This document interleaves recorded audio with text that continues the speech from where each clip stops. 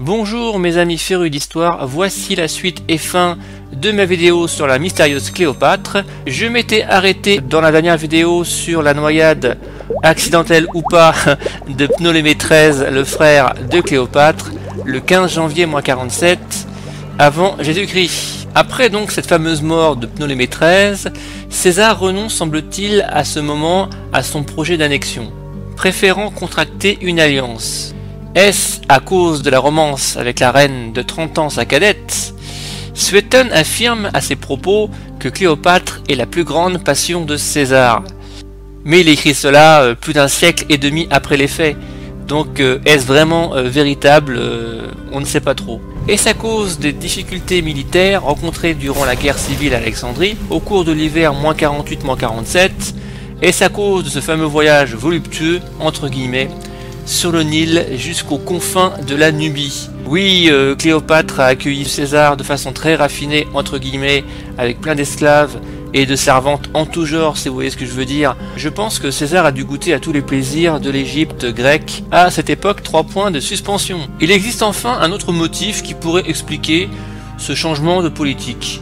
Dans cette période troublée, César n'a pas encore réduit les derniers euh, partisans de Pompée. Un gouverneur d'Égypte ambitieux aurait pu affamer Rome en euh, la privant euh, du blé égyptien, et sans faire un tremplin pour ses ambitions politiques. Auguste, plus tard, donc Octave pour le moment, interdit d'ailleurs aux sénateurs l'accès à l'Égypte afin d'éviter d'éventuelles tentations. Maintenir une dynastie discréditée tout en gardant le contrôle militaire du pays. Trois légions romaines restent après le départ de César et par conséquent euh, la solution peut être provisoire dans l'esprit du conquérant la plus commode. Oui, il faut savoir que Rome avait euh, deux grandes puissances, euh, son armée, donc le glaive, et bien sûr sa politique diplomatique qui, réunie avec la légion romaine, formait une arme aiguisée plus que tranchante, et donc impitoyable. Séjour à Rome, Cléopâtre épouse alors un autre de ses frères cadets, Ptolémée XIV, sur l'injonction de Jules César.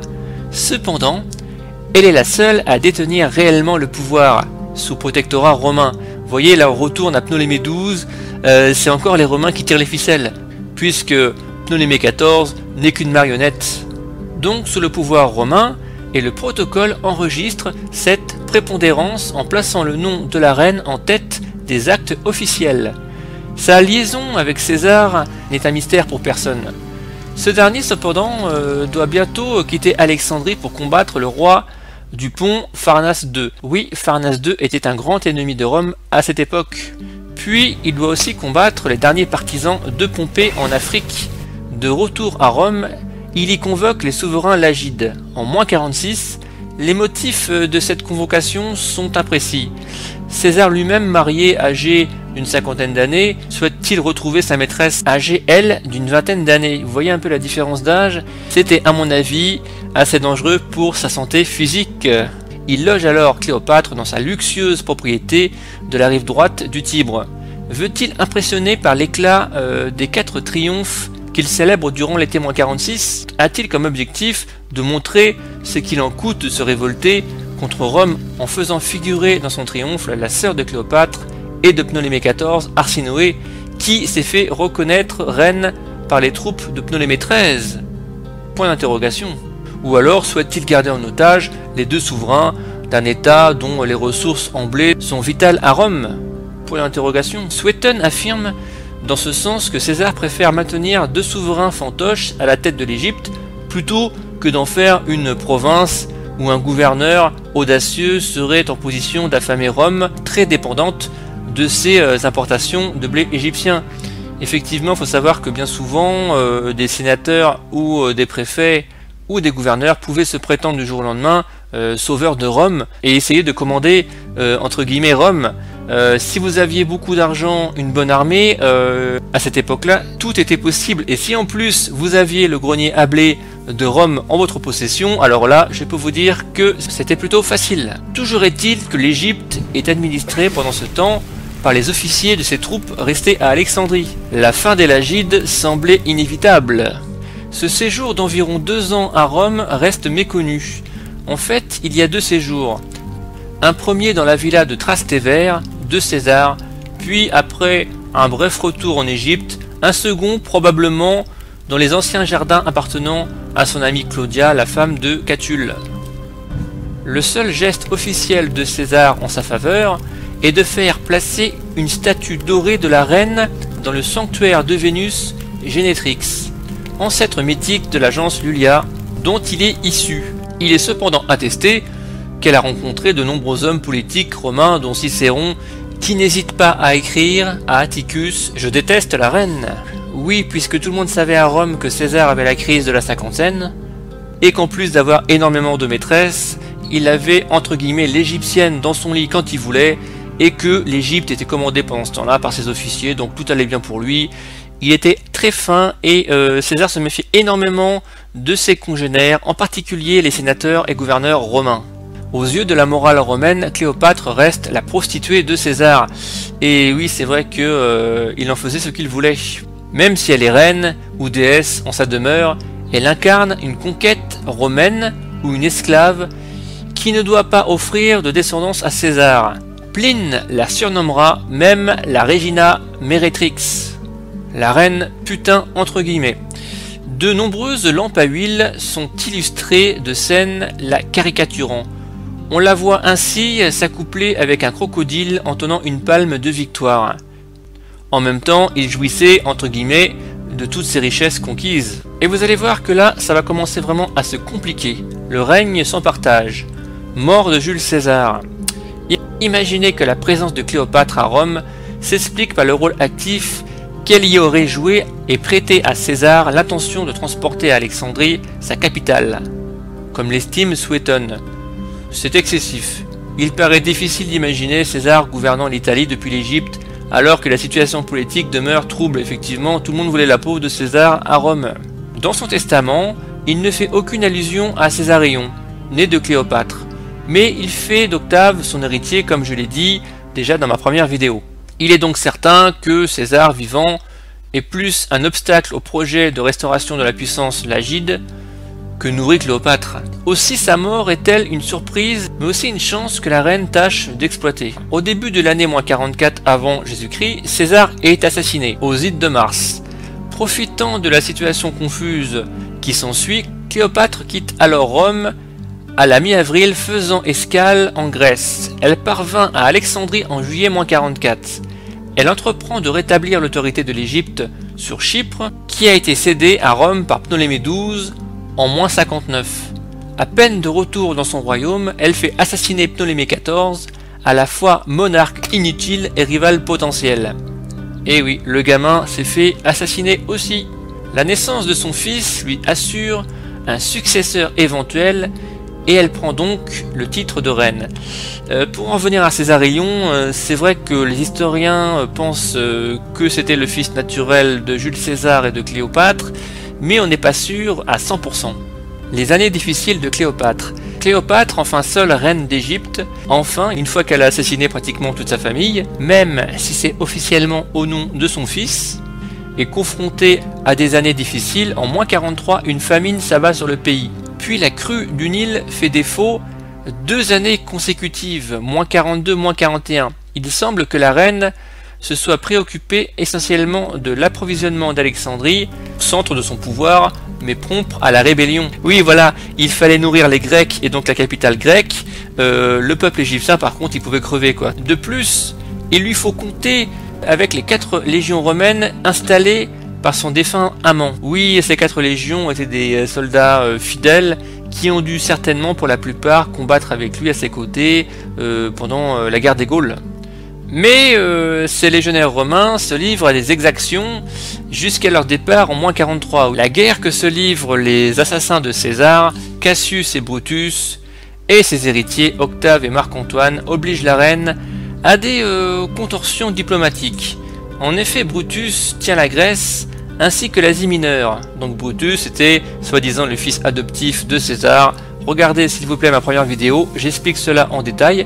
Tandis que Cassius s'installe en Syrie, le gouverneur de Cléopâtre à Chypre.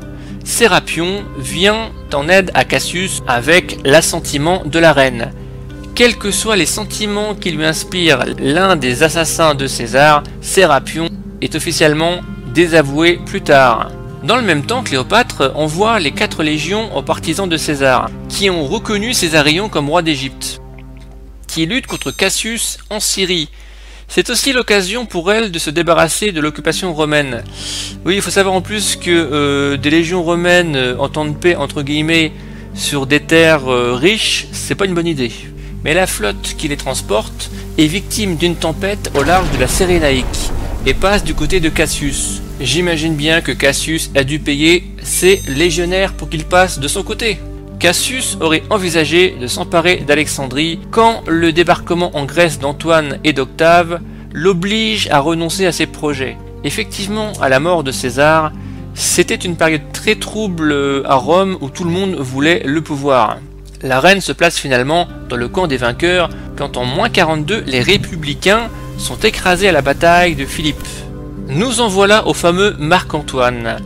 Rencontre de Marc-Antoine avec Cléopâtre. Nous ignorons depuis quand Cléopâtre, âgé de 29 ans en moins 41, et le général romain, qui en a une quarantaine d'années, se connaissent. Marc-Antoine est l'un des officiers qui ont participé au rétablissement de Ptolémée XII en moins 55, mais il est peu probable qu'il se soit fréquenté, Cléopâtre n'ayant à l'époque qu'une quinzaine d'années. Même si Appien indique qu'Antoine a déjà remarqué la future reine, oui, il faut savoir que Marc-Antoine était un chaud lapin, un homme assez rustre, un militaire de carrière, et qu'il courait après tous les jupons. Il n'existe aucun témoignage certain sur cette possible rencontre. Il est plus vraisemblable qu'il se soit fréquenté euh, lors du séjour à Rome de Cléopâtre. Pourtant, lors de leur rencontre en moins 41, ils semblent assez mal se connaître. Oui, certainement que Marc-Antoine avait déjà rencontré euh, Cléopâtre dans la villa de César euh, lors de son séjour qui a duré environ deux ans, c'est pratiquement sûr. Dans le partage du monde romain intervenu après l'écrasement des républicains, l'Orient est dévolu à Antoine. Dans le cadre du second triumvirat, donc le second triumvirat pour faire un petit rappel historique, est une alliance politique de la Rome antique scellée à Bologne le 11 novembre 43 et rassemblant Marc-Antoine Lépide et Octave Auguste pour se partager le pouvoir romain. Il reprend alors le projet de César avant sa mort, c'est-à-dire une grande expédition contre les Parthes. Pour cela, il convoque les souverains des royaumes clients, à Tars en Silésie, y compris la reine d'Égypte, celle-ci connaît au moins un des défauts de l'officier, sa vanité et son amour du faste. Aussi arrive-t-elle dans un navire à la poupe dorée et au voile pourpre, siégeant sous un dé d'or, entouré d'un équipage déguisé en nymphes, Néréide et Amour. Vous pressentez comme moi à cet instant le même voyage romantique entre guillemets euh, que Cléopâtre s'apprête à faire avec Marc-Antoine qu'elle a déjà fait avec César dans le passé. Et donc Cléopâtre invite Marc-Antoine à son bord pour un somptueux banquet. Commence alors une liaison de 10 ans, sans doute l'une des plus célèbres de l'histoire, même s'il est difficile de savoir quelle est la part de calcul dans l'attitude d'Antoine, lequel a besoin de l'Égypte pour ses projets? Effectivement, Marc-Antoine et Cléopâtre avaient besoin l'un de l'autre. Cléopâtre rêve de reconstruire le royaume Lagide. Dans un premier temps, Marc-Antoine suit Cléopâtre à Alexandrie, où il passe l'hiver moins 41, moins 40, laissant son armée. Oui, il faut savoir que sous l'Antiquité, euh, l'hiver n'était pas une période propice à la guerre, donc on laissait euh, en repos ses armées euh, dans des camps militaires. C'est à ce moment qu'une vaste offensive des Parthes leur permet de s'emparer de la Syrie, du sud de l'Asie mineure et de la Cilicie. Antigone Mattathias, un prince de la famille des Asmonéens, hostile aux Romains, est installé sur le trône de Jérusalem. Marc-Antoine mène une courte contre-offensive depuis Tyr, puis est obligé de rentrer à Rome à l'été moins 40, où s'affrontent ses partisans et ceux d'Octave. Il conclut avec ce dernier la paix de Brinde en octobre moins 40 et épouse sa sœur Octavie, uniquement pour des projets politiques, on est bien d'accord. Pendant ce temps, Alexandrie, Cléopâtre accouche de jumeaux, un garçon, Alexandre Hélios, et une fille, Cléopâtre Sélénée. La séparation dure trois ans, du printemps moins 40 à l'automne moins 37.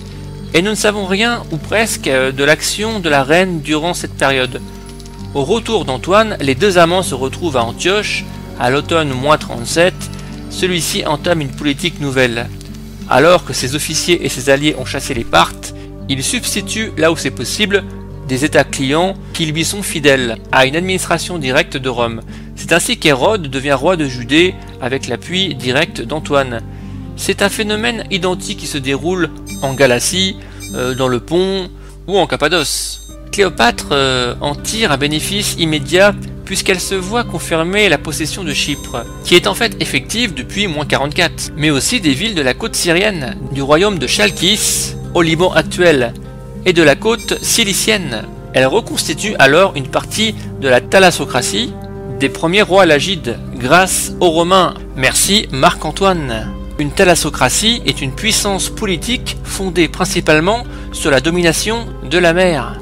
Décidément, Marc-Antoine a véritablement une dent contre les Parthes, puisqu'en moins 37, moins 36 avant Jésus-Christ, Marc-Antoine entame une campagne contre les Parthes qui tourne au désastre, en grande partie due à un hiver rigoureux dans les montagnes d'Arménie et d'Atropatène. Antoine lui-même en réchappe de peu.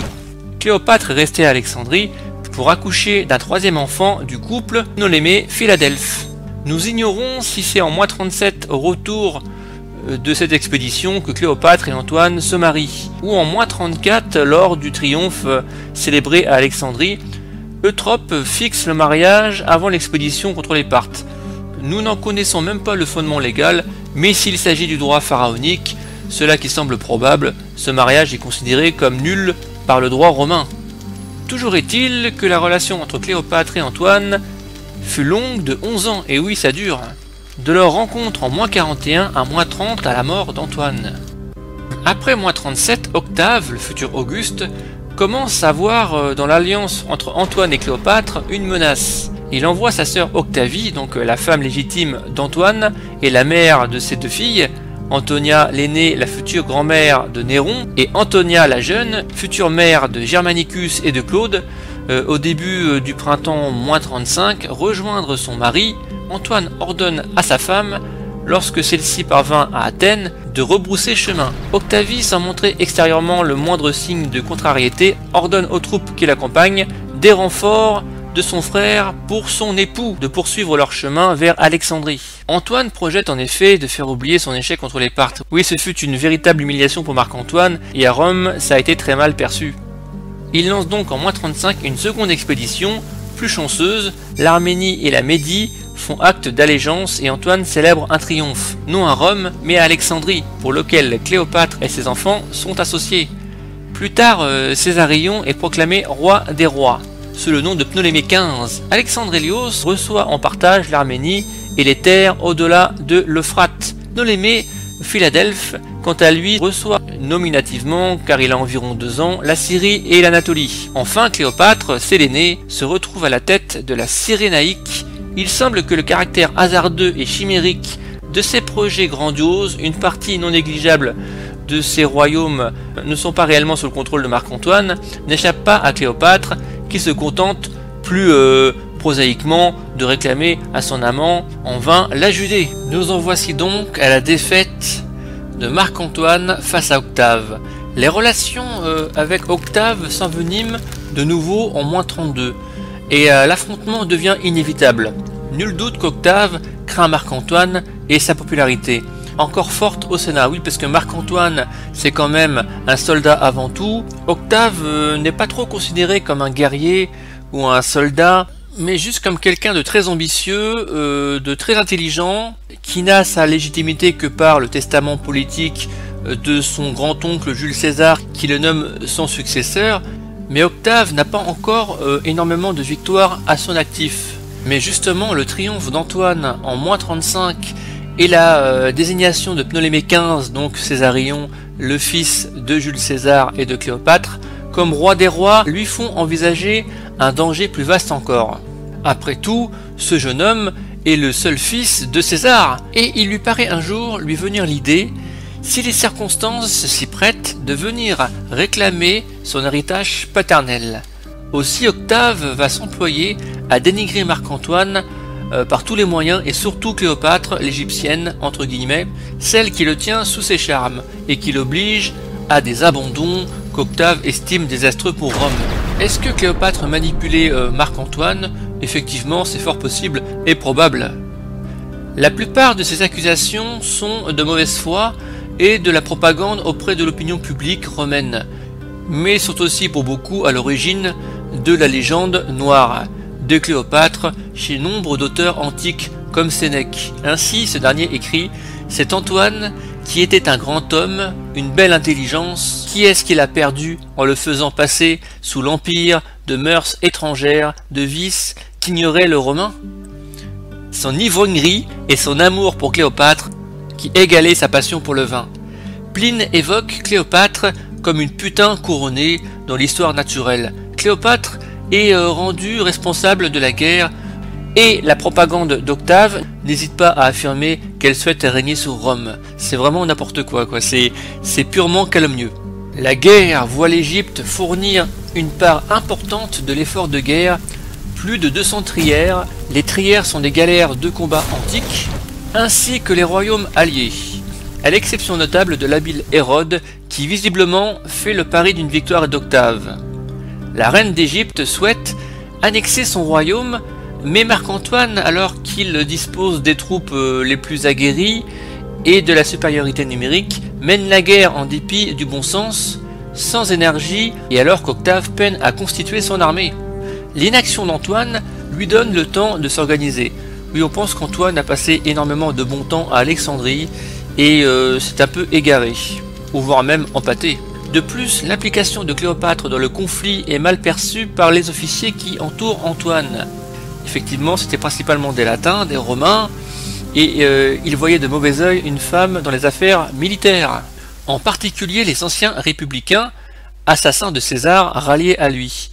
Ainsi, certains refusent absolument de saluer Cléopâtre de son titre de reine et finissent par faire défection. Cette hostilité viscérale de certains Romains à la monarchie éloigne d'Antoine de nombreux hommes de valeur. Elle n'est pas comprise par les historiens de culture grecque des siècles suivants, qui ne font guère de différence entre la dictature de César, le triumvirat et le principe monarchique dans d'autres États.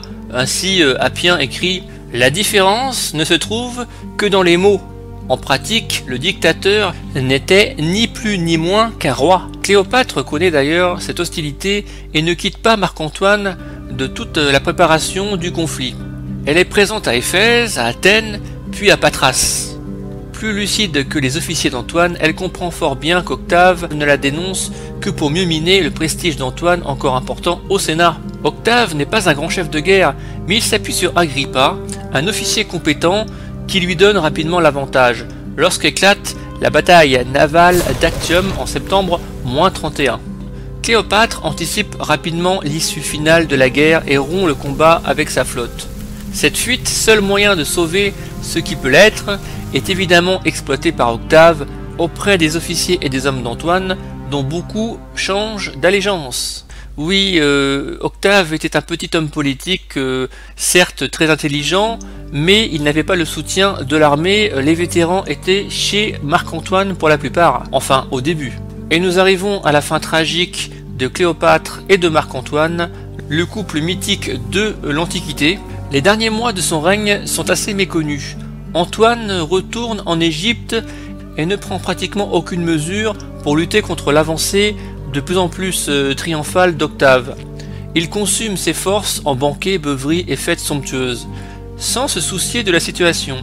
Il semble que Cléopâtre ait surtout cherché à mettre Césarion à l'abri en l'expédiant à Méroé en Nubie. Pour faire court, Marc-Antoine savait que c'était foutu entre guillemets, que pratiquement tous ses anciens soutiens l'ont abandonné pour Octave, il s'est laissé euh, dépérir.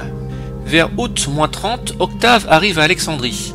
À la fausse annonce du suicide de Cléopâtre, Marc-Antoine met fin à ses jours en se jetant sur son épée. Mourant, il est transporté par Cléopâtre dans son propre tombeau. Celle-ci est conduite devant Octave, qui la laisse se retirer avec ses servantes. Cette attitude est curieuse de la part du futur Auguste, car il semble ne prendre aucune précaution pour prévenir un suicide de la reine. Il a pourtant besoin d'elle pour figurer à son triomphe. Craint-il qu'à la star de sa sœur Arsinoé, figurant au triomphe de Jules César en moins 46, elle n'inspire aux Romains que compassion plutôt que haine? Il n'est pas impossible qu'Octave ait espéré le suicide de Cléopâtre, qui peut passer pour un témoignage supplémentaire de lâcheté. Accréditant la thèse défendue par sa propre propagande, Suétone affirme au contraire qu'Octave souhaitait maintenir la reine en vie et qu'il aurait tenté de la faire sauver.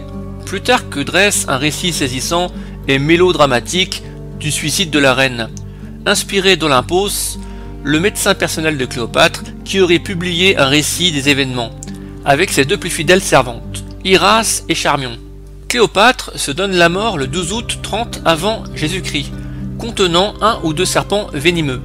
Cette version est la plus courante. Pour certains historiens, ce serait une nouvelle preuve de l'attachement de la reine aux traditions égyptiennes, car la morsure du cobra euh, d'Amon-Ré passe pour conférer l'immortalité et la divinité à sa victime.